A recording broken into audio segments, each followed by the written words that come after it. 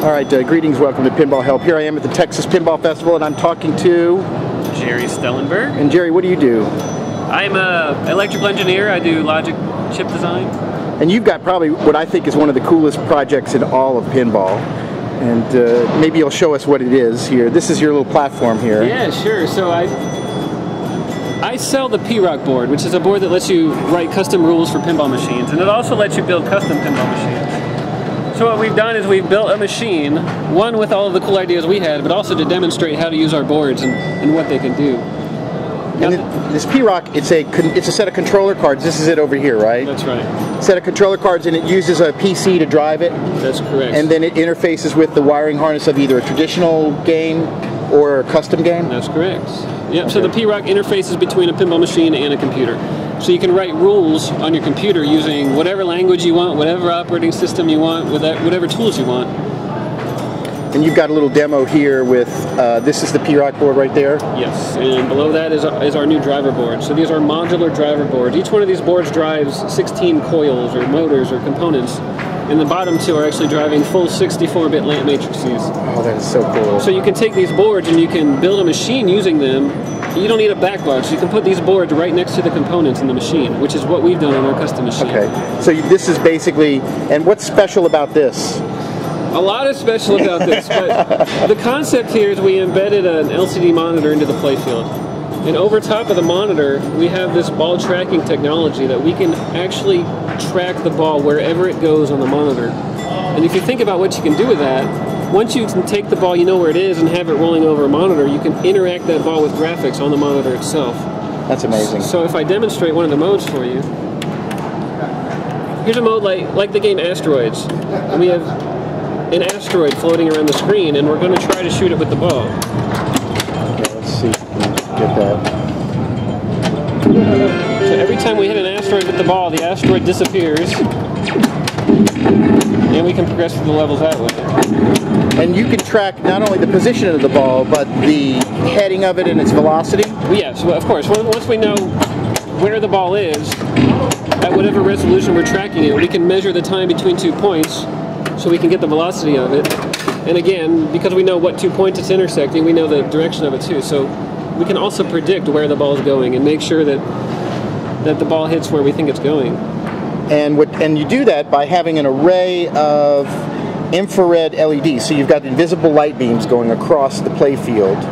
And I guess you, you can make them high as, high as many or as little as you want so that the resolution of the detection can be high or low. Right? That's right, yes. In fact, in the next version of this machine, we're going to tweak the resolution and make it make the resolution a lot higher so we can track the ball in smaller increments of space. That's awesome. That's really cool. And I like how you've got the uh, slingshot suspended above the, the monitor. Yeah, so if you think about it, we have a monitor there. We don't have a normal playfield that you can drill a hole through to, to bring the, the mechanism for the slingshot. So we had to invent what we're calling floating slingshots. Wow, that is awesome.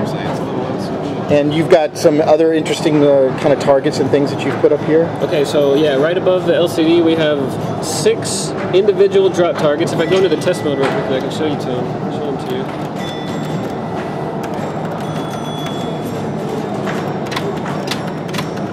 Individually controlled drop targets, each with RGB LEDs in them, so we can change them to any color we want. And you can actually see the smooth color gradients going on them right now. Right. Which is kind of kind of neat.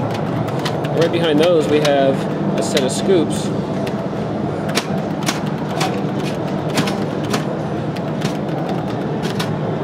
And they feed to, I guess, some kind of a subway that, that redirects the ball elsewhere.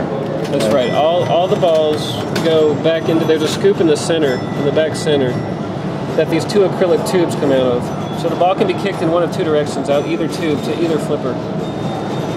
And uh, the, the software is all written in Python, right? And That's right. it's running on Linux uh, but it can run on other platforms too. That's right. Once you have a P-ROC board in your system, you can you can develop on any OS. You can develop on any language you want. We we we created a framework called PyProcGame, which runs on Python. So this game is developed on top of that. But yeah, you can you can write in any on any OS and any programming language you want. Yeah, I've been very excited about this, uh, and you can prototype the games virtually on Visual Pinball and stuff like that too. You could. We haven't integrated. Oh, this, this is completely separate though. There is a hook for PyProcGame to talk to Visual Pinball, yes. This specific software that I've developed for this is not it's completely proprietary. That. Yes, that's right. much run. So You'll notice we redid everything. We redid the flashers. There's custom flashers on here. We're not using standard domes.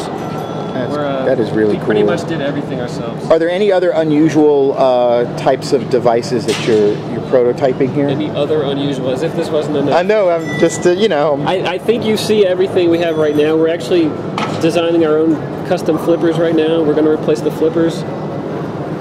We have a couple other tricks up our sleeves that I'm not going to tell you about right now, but yes, we're. It's going to get even crazier. I was really looking forward to seeing this, uh, and you've got all of these items on sale here. That's correct. And uh, if people want to go learn more, they go to pinballcontrollers.com, right? You got it. All right. Well, thanks very much for your time, man. That was great. Thank you.